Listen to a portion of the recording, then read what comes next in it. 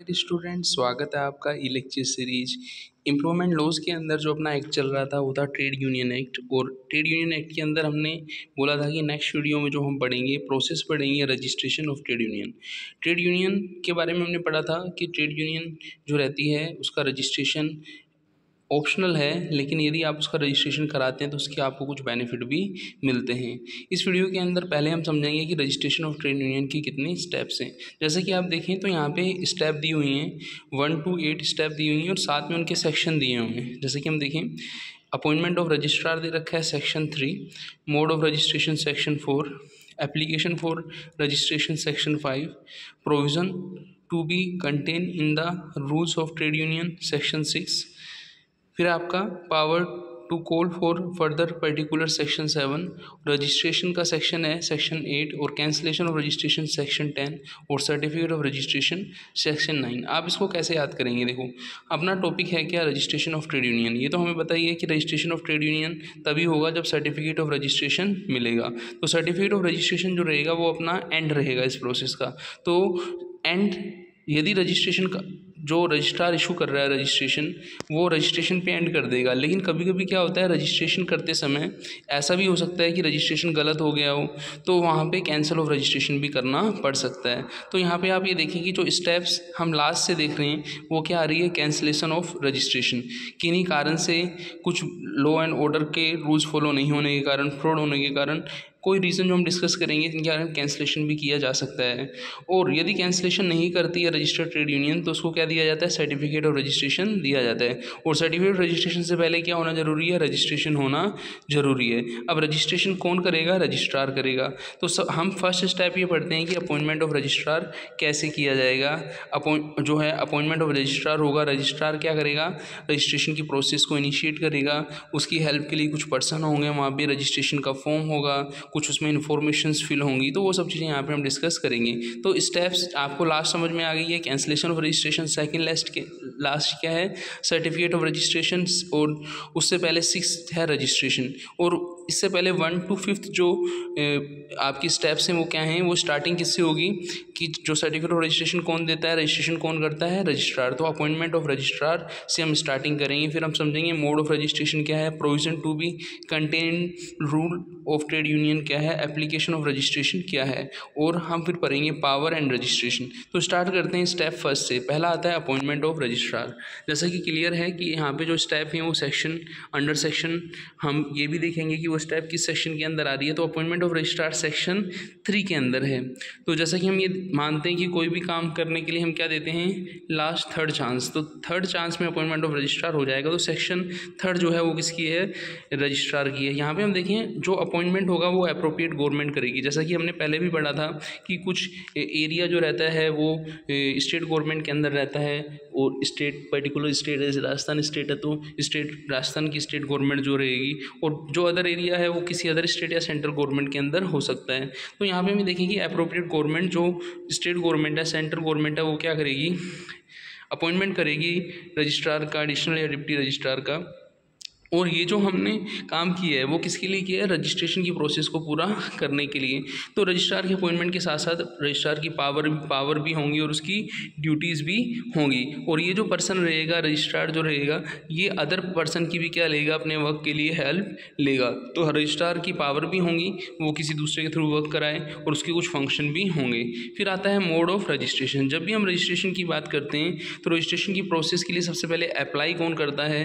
Trade union के member करते हैं, इसके लिए सेवन मेंबर का होना ज़रूरी है या फिर ten percent of member suppose मान लीजिए किसी ट्रेड यूनियन के अंदर वन थाउज़ेंड क्या है आपके मेंबर हैं तो टेन परसेंट हंड्रेड मेंबर का जो है अप्लाई करना ज़रूरी है। मान लो किसी ट्रेड यूनियन में जो मेंबर हैं वो सिक्सटी हैं, साठ हैं तो वहाँ पे सेवन मेंबर का होना ज़रूरी है। तो ये मिनिमम नंबर ऑफ़ मेंबर जो रजिस्ट्रेशन के लिए अप्लाई करेगा, वो कितने होंगे बोलो? सेवन और टेन परसेंट और हंड्रेड फिर हम ये देखें कि जो आपके जो मेंबर होंगे वो क्या करेंगे? उनके नाम ट्रेड यूनियन के रजिस्टर के अंदर लिखे होंगे। और यहाँ पे जब हम रजिस्ट्रेशन की प्रोसेस को जब पूरा कर लेंगे, तब हम वहाँ पे देखेंगे कि जो मेंबर रहते हैं, उनको जैसे ट्रेड यूनियन को रजिस्ट्रेशन के बाद काफ़ी राइट्स मिलते हैं, ऐसे मेंबर को भी बहुत सारे राइट्स मिलते हैं। तो दूसरा पॉइंट क्या आता है? Mode of registration under section four फिर आता है एप्लीकेशन ऑफ़ रजिस्ट्रेशन जैसा कि थोड़ी पहले थोड़ी देर पहले हमने देखा ही था कि कोई भी ट्रेड यूनियन है, उसके रजिस्ट्रेशन के लिए कौन अप्लाई करेगा? मेंबर करेगा। किसको किस किसको किसको देगा रजिस्ट्रेशन? रजिस्ट्रार को, रजिस्ट्रेशन के लिए। तो सबसे पहले हमने रजिस्ट्रार पढ़ा, फिर हमने मेंबर्स को पढ़ा रजिस्ट्रेशन के अंदर। अब हम एप्लीकेशन टू रजिस्ट्रेशन के लिए रजिस्ट्रार को एप्लीकेशन देंगे। अब जब हम एप्लीकेशन देंगे तो उसमें मेंबर से related name occupation address head office से related name of trade union जो है एड्रेस जो हेड ऑफ़िस का है, उससे रिलेटेड इन्फॉर्मेशन होंगी। तो यहाँ पे पहले हमने किसको हाईलाइट किया था? मेंबर को। सेकंड वाले पॉइंट में हम किसको हाईलाइट करेंगे? हेड ऑफ़िस को। और जो थर्ड वाला पॉइंट आएगा, उसमें हम किसको हाईलाइट करेंगे बोलो? यहाँ पे हम देखेंगे ऑफ़िस बियरर ऑफ़िस बियरर का title name age address and occupation और ट्रेड यूनियन जो है trade union has been existence for more than one year before it registration कि ट्रेड यूनियन एक साल ट्रेड यूनियन को बने हुए हो, हो जाना चाहिए रजिस्ट्रेशन से पहले। ये हमने पढ़ा था step four application for registration under section five अब हम देखते हैं सेक्शन सिक्स के अंदर provision to be contain in the rule of trade union under section six. तो जैसा कि आपको बताया कि जो जो ट्रेड यूनियन का रजिस्ट्रेशन है वो कंपलसरी नहीं है, वो ऑप्शनल है। लेकिन ये भी हम ट्रेड यूनियन का रजिस्ट्रेशन कराते हैं तो हमें कुछ चीज़ों का ध्यान रखना पड़ता है कि ट्रेड यूनियन का नाम क्या है, उसका ऑब्जेक्ट क्या है, उसका पर्पज़ क्या है, उसके फंड्स कहाँ यूज़ किए जाएँगे, उसका अपॉइंटमेंट ऑफ़ मेंबर कैसे किया जाएगा। तो ये कुछ चीज़ें हमें ध्यान रखनी है रूल्स ऑफ़ ट्रेड यूनियन के अंदर। फिर नेक्स्ट स्टेप जो है वो है आपकी कि जो मेंबर जो रहेंगे, वो मेंबर्स जो एम्प्लॉयड होंगे ट्रेड यूनियन के अंदर, वो परमानेंट भी हो सकते हैं टम्प्रेरी मेंबर भी हो सकते हैं। और जो मेंबर से सब्सक्रिप्शन फ़ीस की हम बात करें, जब ये एक्ट आया था, उस समय मेंबर से rupees one per annum for rural worker हम लेते थे और rupees three per annum for other unorganise sector unorganise sector जैसा कि हम समझ गए कि जो लेबर रहती है, उसके ऑर्गेनाइज और अनऑर्गेनाइज जो हैं, दो पार्ट होते हैं।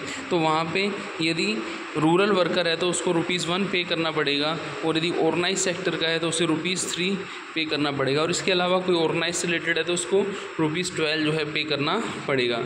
फिर हम ये देखें condition under which member can get benefit और फाइन कि क्या क्या मेंबरशिप के मेंबर होंगे, ठीक है ना? और यदि मेंबर्स कोई गलत काम करते हैं तो उसके लिए क्या पेनल्टी या फाइन होगी? इसके अलावा हम देखें कि ट्रेड यूनियन के जो फंड्स रहते हैं, उनका कैसे यूज़ किया जाएगा और डिसोल्यूशन ऑफ़ ट्रेड यूनियन कैसे होगा?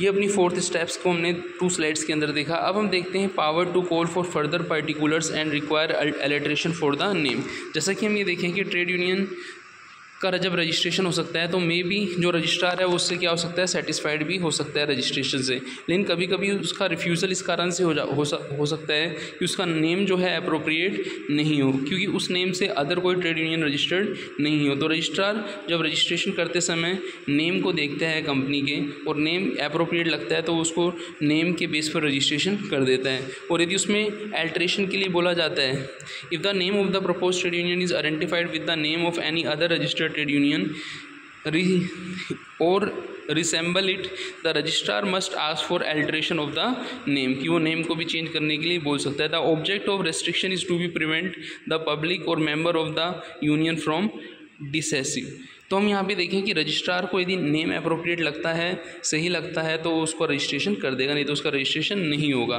फिर रजिस्ट्रेशन की प्रोसेस आएगी, जिसके अंदर हम यही देखेंगे कि if the registrar satisfied with the registration documents provided and requirement of the registration then they can register the trade union the registrar will register the trade union if he satisfied all the trade union has compile with the requirement of this act in this regard it is mandatory to registrar to register trade union if, union satisfied all technical requirement. तो ये step थी अपनी registration की। फिर उसके बाद क्या issue होगा? सर्टिफिकेट ऑफ़ रजिस्ट्रेशन इशू होगा।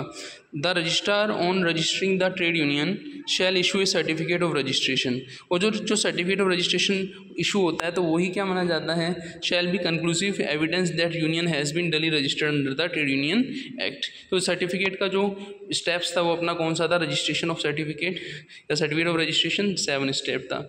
और जैसे कि मैंने आपको बोला ही था कि जैसे ट्रेड यूनियन रजिस्टर्ड हो जाएगी तो उसको कुछ बेनिफिट्स मिलते हैं।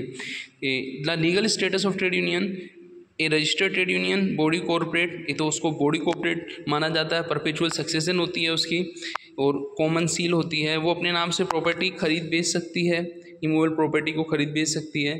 ट्रेड यूनियन पर कोई मुकदमा भी कर सकता है और ट्रेड यूनियन किसी पे मुकदमा भी कर सकती है। और यदि ये चीज़ें नहीं हैं तो कहीं ना कहीं ये बेनिफिट भी ट्रेड यूनियन को नहीं मिलते हैं। No agreement between the member of the registered trade union void and voidable तो ये हमने देखा कि ट्रेड यूनियन के रजिस्ट्रेशन के क्या फ़ायदे हैं।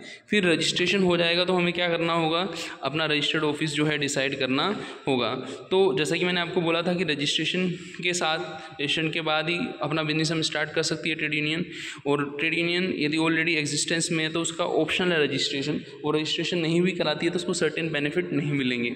All communication and notice of registrar trade union may be address to its registered office notice of any change in address of head office shall be given in 14 days of such registration. ये registration का जो address है registered office जो हमने application में दिया था, उसमें यदि कोई चेंज होता है तो उसके 14 डेज़ के अंदर क्या देनी चाहिए? इन्फॉर्मेशन देनी चाहिए. एडवांटेज ऑफ़ रजिस्ट्रेशन हमने अभी पढ़ाई थी कि बॉडी कॉरपोरेट बॉडी हो जाती है ट्रेड यूनियन लीगल एंटिटी हो जाती है परपेचुअल सक्सेसन हो सकता है इमोल प्रॉपर्टी को खरीद और बेच सकती है, ठीक है ना? Can enter in to contract और can sue and can be sued हो सकती है। और हमने रजिस्ट्रेशन की प्रोसेस के अंदर देखा था कि यदि जो ट्रेड यूनियन के अंदर रजिस्ट्रार ने रजिस्ट्रेशन गलत कर दिया है और वहाँ पे कोई फ्रॉड वगैरह है रजिस्ट्रेशन प्रोसेस में डॉक्यूमेंट्स में तो उसका रजिस्ट्रेशन कैंसिल भी किया जा सकता है। तो इस लेक्चर के अंदर जो हमने स्टेप्स थी ट्रेड यूनियन के रजिस्ट्रेशन की, वो हमने आठों स्टेप्स को पढ़ा। मिलते हैं नेक्स्ट लेक्चर में। थैंक्स